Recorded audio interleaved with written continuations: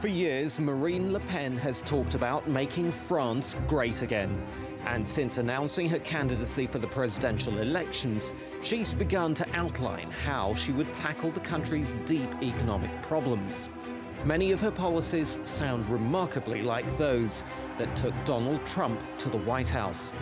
One of her priorities is what she describes as intelligent protectionism.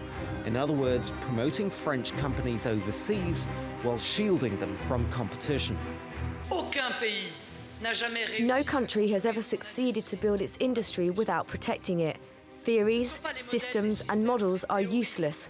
Reality counts. Everywhere jobs are being brought back.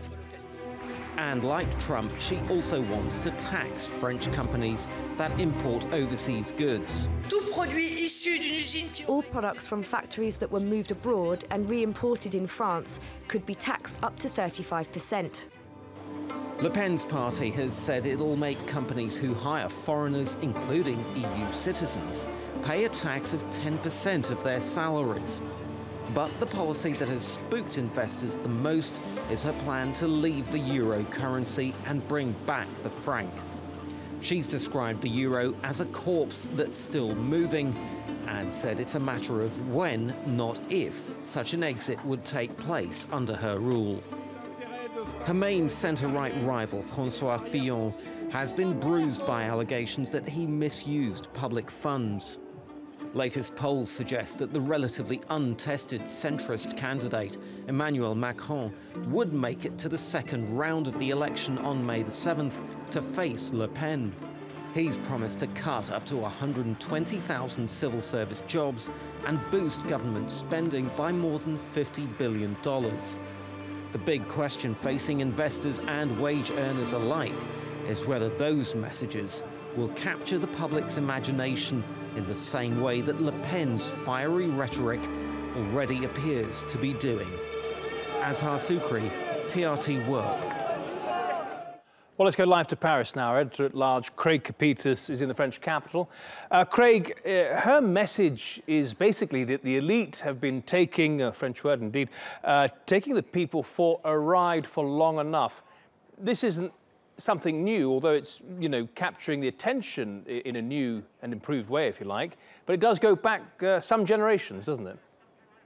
It goes back decades, Matthew. what you're seeing, hopefully, uh, uh, on screen right now is some footage of Pierre Poujade, who is the, essentially the founder of the National Front back in the late 50s and early 60s. Uh, started a tax revolt in the South. He made it to the French Parliament, and his chief bodyguard was Marine Le Pen's father. And what Poujadism, what Poujade said, and it still continues today, he saw France as two distinct worlds, what the French called le pays légal and le pays réel, basically the rulers and the ruled. Now, the rulers were, on one side, were affluent, venal, secular, sophisticated individuals. The other side were pious, honest, frugal, and hardworking. And that's the battle you're seeing played out now.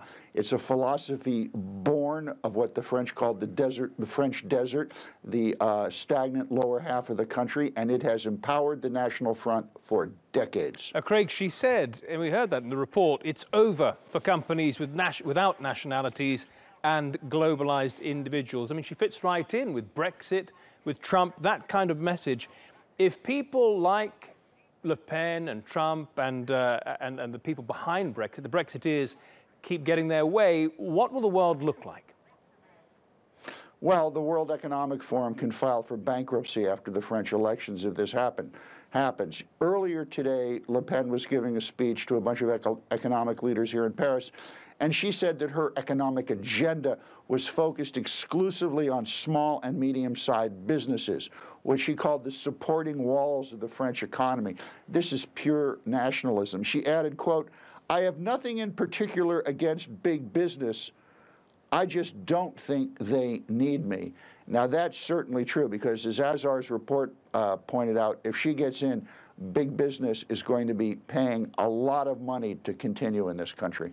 And how popular is her promise to leave the euro, the eurozone, and bring back the franc? And, and what would be the point? Well, it, it goes back to what we were talking about the rulers and the ruled.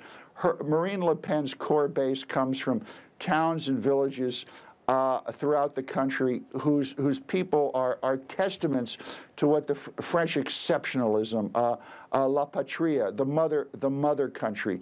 These are, these are very strong nationalist people who feel that they have been left behind in the grandeur of France that they were promised has not been fulfilled. And, and they do not think in the same terms as, as those who rule the country. And to prove this, this point, uh, uh, Matthew, there was a poll just a few weeks ago taken here by Transparency International that showed 54% of the French electorate believe their elite, the people Le Pen is going after, are corrupt. Right. That is a significant number.